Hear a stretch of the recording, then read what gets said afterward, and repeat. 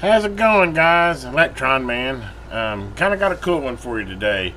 You know, I've been going through uh, these little radios that I picked up uh, at garage sales, etc., uh, estate sales, and uh, I picked this up, oh, probably a month or so ago, maybe even two months ago.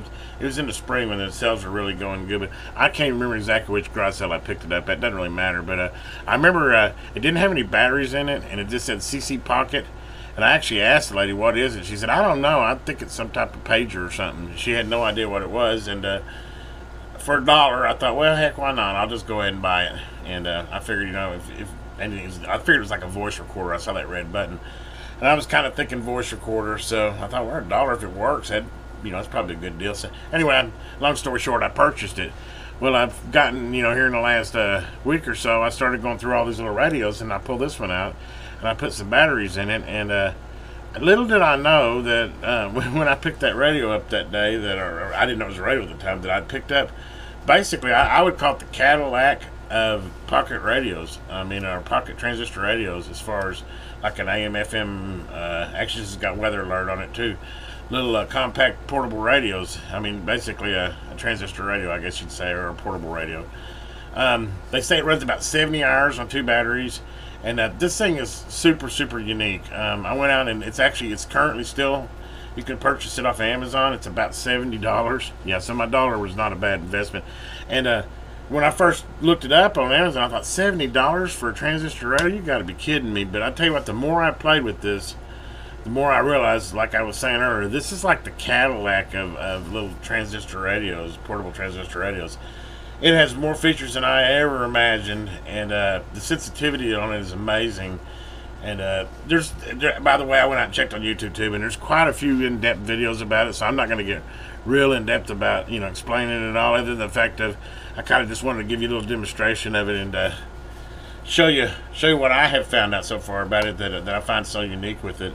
I mean, uh, couple normal things is it's got a built-in speaker and it's got a you know stereo which it does play stereo and mono. And it has a switch on the side that'll do it'll do speaker off or uh, middle selection is mono and then top slide is stereo. But uh, and also it does use on the uh, earphone jack it definitely makes that an active antenna.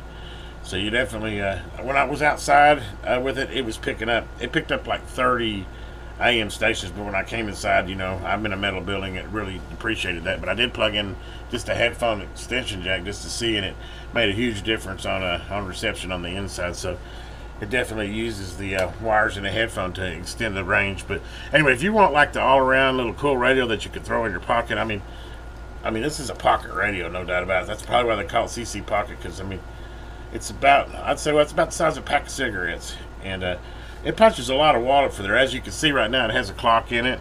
Um, it also has an alarm clock you can set for waking up in the morning or whatever. Um, it has a sleep timer, so you can use it to lay to bed at night and tell it to turn off in 30 minutes, and it'll turn off in 30 minutes. Um, it's got a backlit display. Speaker quality is not bad. I'll go ahead and show you that here in a minute.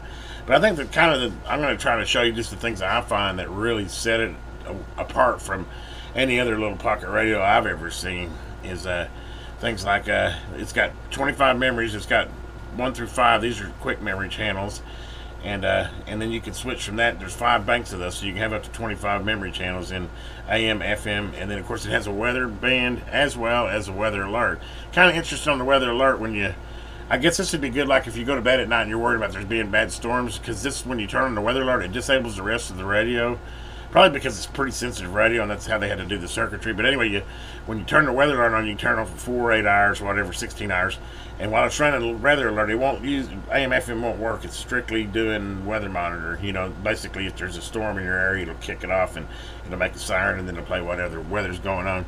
Um, which is a cool little feature as well in it. So, so not only is it a you know AM FM radio, it is also a weather alert system, as well as it'll receive the weather channel. Um, let me see what else I can think about telling you before I kind of plug it up here and power it up for you. I think that pretty much covered it. I can tell you this, if you buy one of these, if you don't buy a new, go download the manual because there's so many little extra features that I had no idea until I went downloading the manual and started finding out all the stuff it would do. You know, like the sleep timer. You could turn the display off. In fact, there's one way you, you when you're receiving AM, you can turn off the display because I guess the display can cause a little bit of harmonics inside the radio, and it makes the, the reception even clearer. It's got a anyway. Let me just go ahead and kind of fire her up here and start showing you some of the stuff it's got here. But uh, I'm gonna go ahead and plug this in since I'm sitting inside the still building, just to give a little bit of extra for antenna. But um, I mean, I promise you this very sensitive radio, probably one of the best I've seen for this size of radio. Uh, receiving stations just outside my door. Uh, obviously, inside the middle building, that's a little limited. But anyway. okay, let's get started on just showing you the down and dirty of some of the cool stuff that I found out with this radio. Um, we'll probably concentrate mainly on the uh, AM, FM. I mean, the weather radio is a weather radio. You know what? You know, turn the weather alert on, turn it off. I can't make the weather alert fire off, so it's really just listening to the weather station. Nothing special there, but uh, on the especially on the AM side and uh, the FM, it's just really, really uh, good receiving radio for a little pocket radio. But anyway, let me go ahead and fire this guy up. We'll turn it on backlit deal. I've got it on FM right now, and uh, basically try not to over volume here. I realize this mic's a lot more sensitive. I was kind of blowing out on a couple of other ones. And could keep that volume down a little bit. But, but anyway, you can see that's uh, basically our news radio. From the Budweiser Countdown to 50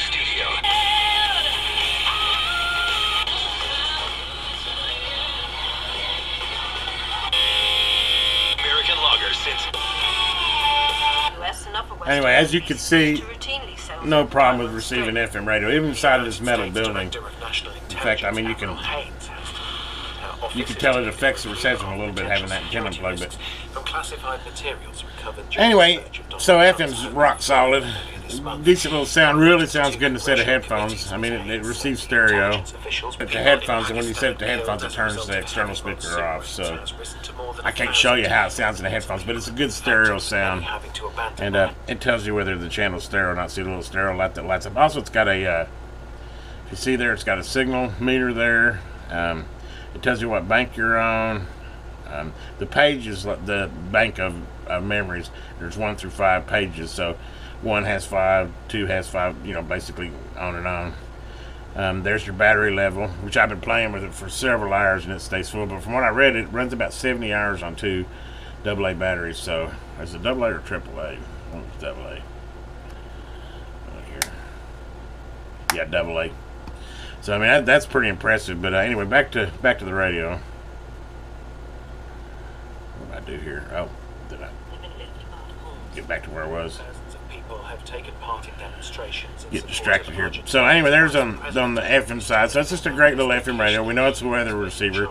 And then you go into the AM side. And this is where I think this radio really excels. That I've never seen a little transistor radio. I've even seen some higher shortwave radios that do some of this stuff. It's got it's got narrow filters in it.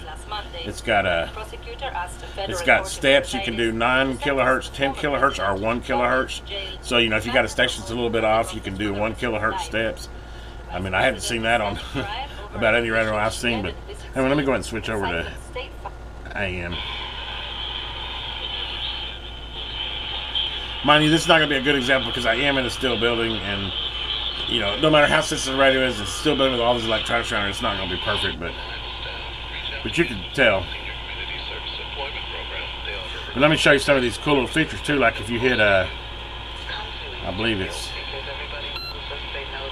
yeah, that's one kilohertz. So now I can go see seventy. See, I can go one kilohertz steps. In fact, there's another station there that I wasn't even hearing.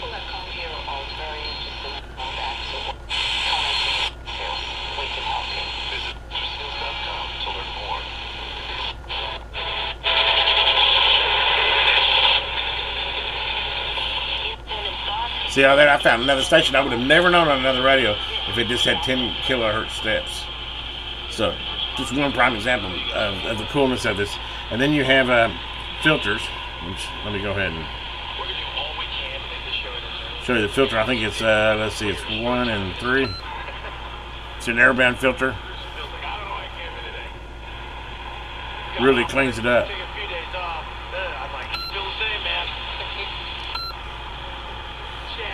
So there's your narrow filter. So you got narrowband filter. You got to where you can increment in one kilohertz steps. I mean, have you ever seen that the pocket radio does it and receives really amazing on it? Of course, you got 25 memories as well. See if that, see how that really helps there. Mind you, this is in the evening too, or late at night. Actually, it's about midnight, so I'm not going to get as many AMs. I went earlier today and I picked up like 30 AM stations. I couldn't believe it. I didn't even know there was that many out there using the one kilohertz increments and the and the narrow filter. It's amazing what I was able to bring in on it. I was trying to there's anything else. Of course, you've got your clock function. Also, anytime you don't want the display, you can just push those two. Turns the display off, so you're not burning any battery on the display. That and apparently that can, you know, generating that that frequent or that uh, display can actually create a little harmonics in it, so you can turn it off just to make sure you're getting the best out of your reception. I can't really tell any difference, but I just think it's another cool feature. Of course, you can scan with it. You can hold down a hold down like the up button. You should just go through scan mode here, which I don't know where. Like I said, late at night in the building, so I don't know how it's going to do a scan. But anyway, it'll scan channels like a normal one. Then you can stop adding the memory. I need to go ahead and fill the memory bank up. I just filled up five for right now, but anyway, you can stop the scan there. Uh, what else is there? Oh, you just got a lockout key over here. You can lock it out. But uh, I, I don't want to make this video too long. Like I said, there's other videos that probably getting a lot more in depth than I am. I'm just kind of showing you my observations, and I can see why I, I, I, would definitely rate this as probably one of the top three uh, little digital AM portable radios that are on the market right now. Um, I think C Crane, I can't remember the name of it. The CC stands for something, C Crane or C Chambers. I don't know. Uh, apparently, it's a, a high end communication company that takes pride in their. Uh, the proprietary stuff. Apparently, there's proprietary uh, circuits inside of this, and I can see that. I mean, like I said, it's got a lot of a lot of extra little features that I I've never seen. Of course, it has a backlight display as well. I'm still in there one increment, so I can uh, change that back to. That's the filter. Uh, what was it? Yeah, 10 current gun, and then one. Yeah. So I go back to 10 to the normal span on it. Anyway, uh, like I said, I don't want to get too uh, too long-winded about it. Other than wow, what a killer deal for a dollar.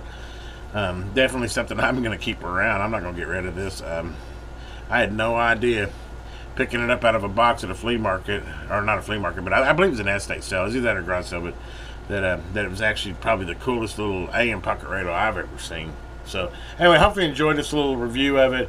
I know there's probably much better ones out there, fancier graphics, better editing, blah blah blah. But I just thought, hey, I had it here. I put a couple batteries and thought it was really cool. Thought it was kind of interesting. Thought I'd give you a little uh, review of what I think of it. I give it a five star as far as pocket radios price wise. Whew, you know, you, you, pay for that technology that's in there, but I, I think uh, 70 hour life on AA batteries and the reception's bar none the best I've ever seen.